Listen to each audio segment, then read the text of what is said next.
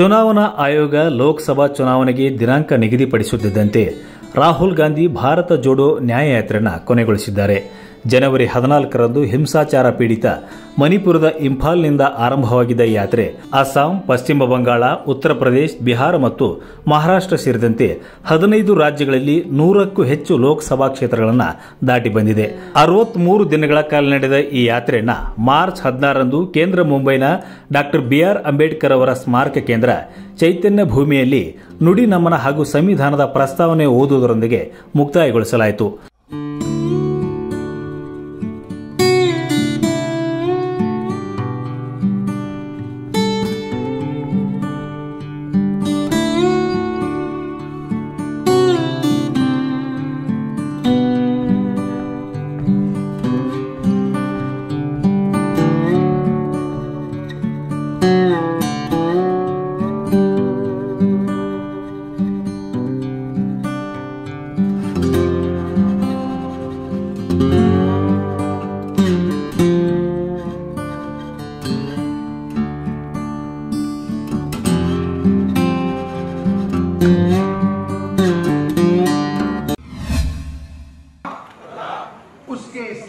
नागरिकों को?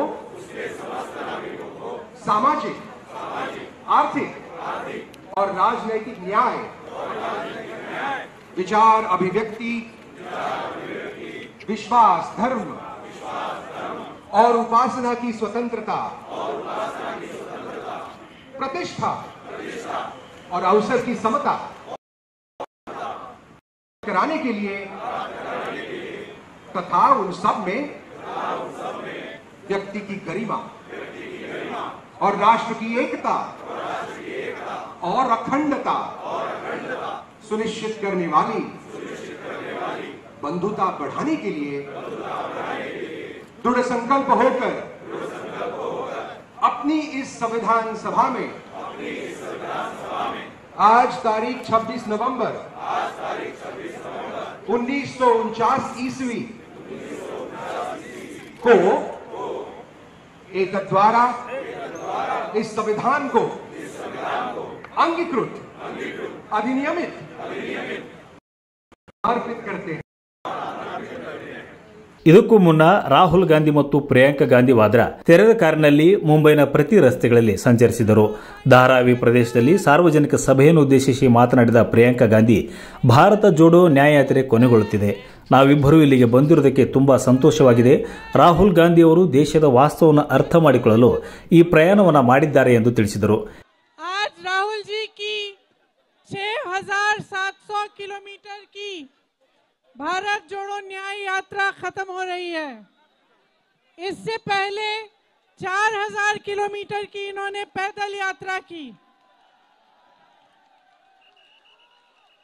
ये यात्रा उन्होंने इसलिए की ताकि इस देश की आप असलियत समझें। आज आज हमारे देश की जो असलियत है उसको समझना बहुत जरूरी है तो ये पूरी यात्रा जो है ये आपको जागरूक बनाने की यात्रा थी ಇದೇ ವೇಳೆ ಮಾತನಾಡಿದ ರಾಹುಲ್ ಗಾಂಧಿ ಜಾತಿ ಗಣತಿಯ ಕಾಂಗ್ರೆಸ್ ಭರವಸೆಯನ್ನು ಪುನರುಚ್ಚರಿಸಿದರು ಮತ್ತು ಮುಂಬರುವ ಲೋಕಸಭಾ ಚುನಾವಣೆಯಲ್ಲಿ ತಮ್ಮ ಪಕ್ಷವು ಅಧಿಕಾರಕ್ಕೆ ಬಂದರೆ ಬಡ ಮಹಿಳೆಯರ ಬ್ಯಾಂಕ್ ಖಾತೆಗಳಿಗೆ ಪ್ರತಿ ವರ್ಷ ಒಂದು ಲಕ್ಷ ರೂಪಾಯಿ ನೀಡಲಾಗುವುದೆಂದು ಹೇಳಿದರು भारत माता में 90 परसेंट आप लोग हो 90 परसेंट आप लोग हो।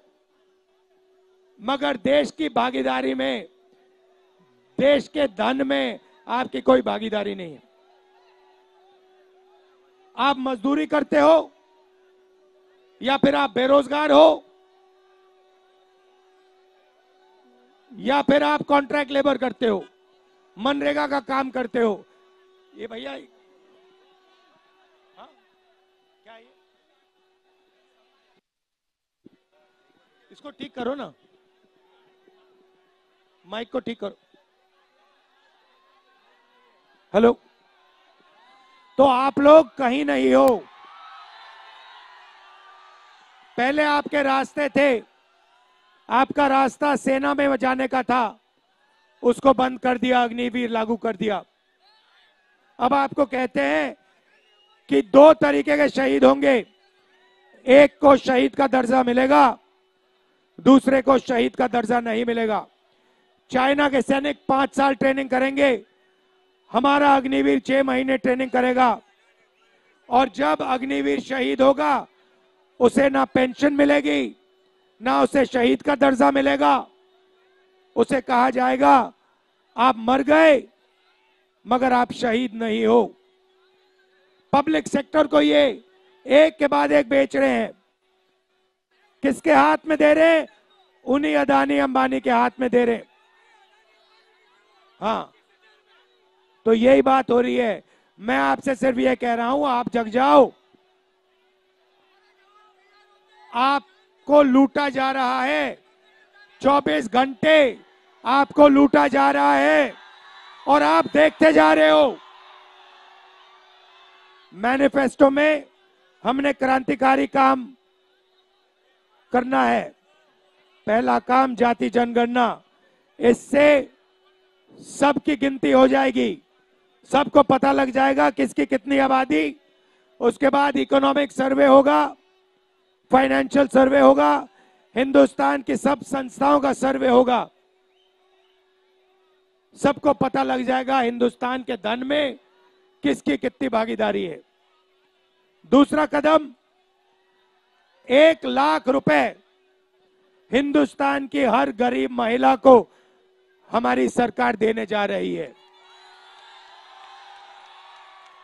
ये 16 लाख करोड़ रुपए इन्होंने 20 लोगों 25 लोगों का कर्जा माफ़ किया है। ये हर रोज अरबपतियों को धन देते रहते हैं, बांटते रहते हैं। इसीलिए हम हिंदुस्तान की गरीब महिलाओं को एक लाख रुपया साल का, आठ हज़ार चार सौ रुपए महीने का देने जा रहे हैं। आखिरी बात मैं आपसे कहना चाहता हूँ, देखिए, ये धारावी आपका है, ये आपका है, और ये आपका रहना चाहिए। यहाँ पे यहाँ पे आपको, आपका जो स्किल है, हुनर है, उसको सपोर्ट करना चाहिए। बैंक के दरवाजे आपके लिए खोलने चाहिए। और यहाँ पे इंडिया का मैन्युफैक्चर से मैन्युफैक्चरिंग सेंटर बनना चाहिए। ये है सच्चाई। ये ये धारा भी मेक इन इंडिया है। ये है मेक इन इंडिया असली। और ये सोचते हैं कि देश दलालों से बनता है देश दलाल दलाल नहीं बनाते देश आप जैसे लोग बनाते हैं ये मेरा आपके लिए मैसेज है आपने इतने प्यार से मेरी बात सुनी दिल से बहुत बहुत धन्यवाद ಮತ್ತಷ್ಟು ವಿಶೇಷ ವಿಡಿಯೋಗಳನ್ನು ನೋಡಲು ಮತ್ತು ಹೊಸ ವಿಡಿಯೋಗಳ ಬಗ್ಗೆ ತಿಳಿಯಲು ಈ ದಿನ dot com YouTube channel subscribe ಮಾಡಿ ಮತ್ತು ಬೆಲ್ ಐಕಾನ್ ಕ್ಲಿಕ್ ಮಾಡಿ